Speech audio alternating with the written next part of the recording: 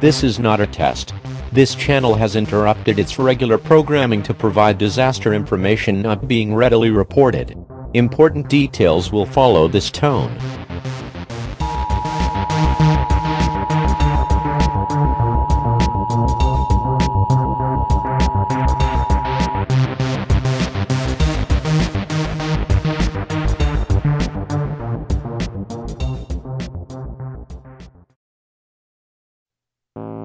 Hey folks! Ira here. I hope you have had a great Saturday. Thanks for tuning in for our report of odd events taking place around the world. For the record, today is March the 25th, 2017. We begin in Egypt where a building collapsed Friday leaving at least nine people injured. The collapse occurred after a 3.3 magnitude earthquake hit the country. The accident happened at midnight in the Garden City area of Cairo. The cause of the accident was not confirmed. The quake was mild and registered at least 4.0 on the Richter scale. The Meteorological Agency on Friday warned that an underwater volcano about 249 miles south of Tokyo could erupt soon, spurring the Japan Coast Guard to issue an alert to ships in the area. Coast Guard aircraft found that the color of the ocean surface recently changed apparently due to volcanic activity. According to scientists, an eruption is unlikely to seriously affect any of the inhabited islands. If the eruption occurs, it will be the first since 1970, where a change of color in the ocean was last observed in 1988.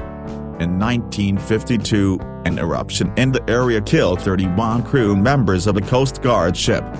Oh lord. Here we go, again. A supposedly free lunch for villagers in Burma turned sour after it landed more than a third of the rural community in hospital with food poisoning Friday. Hundreds fell ill after eating fish stew served at a Buddhist ceremony to celebrate the ordination of local novices.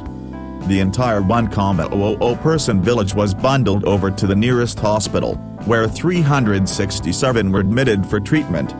Many were reportedly vomiting from both ends and some described aches and pains all over their body. Myanmar has a poor food safety record and visitors to the country often complain of food poisoning-induced explosive diarrhea. And you thought that only occurred in Mexico. And. and. Egypt. Anyways, Tests of street food in the largest city Yangon reportedly found around a third of it contained stomach-churning, diarrhea-causing, bacteria. A rare tornado with wind speeds estimated between 65 to 85 miles per hour touched down in the Orchards, Portland area Friday afternoon, toppling a fence and downing tree branches. No injuries reported. A virus fever with disease symptoms similar to dengue fever is spreading Sri Lanka. As a consequence of this virus, a sudden decrease in the blood platelet count takes place. Apparently, hospitals are severely overcrowded and due to this, patients are lying on benches with great discomfort. For those interested, dengue fever is a painful, debilitating mosquito-borne disease caused by any one of four closely related dengue viruses. These viruses are related to the viruses that cause West Nile infection and yellow fever. Another volcano in Alaska's Aleutian Islands is showing signs of unrest. Bogoslof volcano has been erupting, like our friends in Burma, periodically since mid-December. On Friday, the Alaska Volcano Observatory detected a small explosion at Cleveland Volcano. Geologists say the event at 8.15 am did not last long and was similar to or smaller than other explosions of the past clouds covered the cone-shaped mountain and obscured observations by satellite or boat. Department of Agriculture specialists are investigating a possible case of avian influenza at a commercial poultry business in the Menlo, California area. The bird flu has not been confirmed. According to officials, there is no danger posed to humans in this situation. At least six people have been stung in a bee attack at the Pioneer RV Park in North Phoenix. Arizona. The incident happened around 5.30 p.m. Friday at the park near the I-17 and Carefree Highway. Firefighters say a 59-year-old man stung several times has been taken to the hospital. The other five people were evaluated on scene. Watts Bar Nuclear Plant Unit 2, located in Tennessee, was shut down on Thursday at approximately 12.15 a.m. And the reactor has been placed in a safe, stable condition, officials said. The shutdown followed an issue with non-nuclear-related equipment that supports the unit to turbines. Officials are currently evaluating the turbine system to determine the cause of the shutdown and identify necessary repairs. Watts Bar Unit 1 is currently offline for a scheduled refueling and maintenance outage.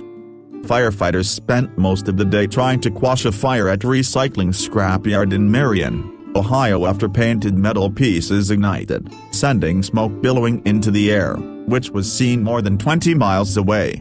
Firefighters have not stated a cause for the fire, but said something ignited pieces of old washers and dryers and that the paint on them was what was burning and giving off the smoke. A series of wolf attacks has prompted the closure of a beach near in British Columbia, as well as a ban on dogs at nearby beach.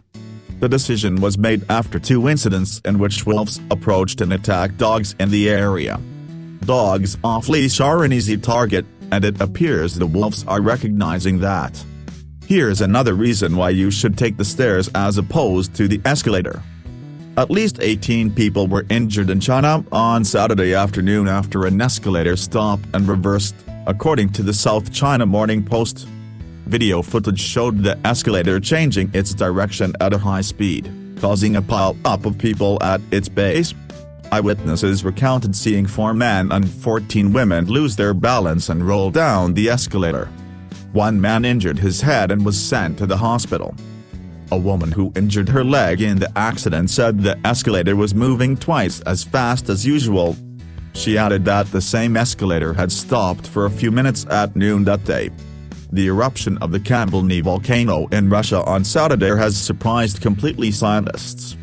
The volcano had been observed by specialists since 1993 by satellite and visual methods and nothing pointed to a possible eruption. The Kambalny volcano, a conical volcano, has been built up by many layers of hardened lava. Its previous eruption supposedly was about 600 BC. The crater is about 2,624 by 1,312 feet. The name originates from the name of river Kambalnaya, as the explorers called it because they saw it was rich in flatfish. Finally, the number of children contracting the highly contagious and often painful hand, foot and mouth diseases on the rise across western Sydney.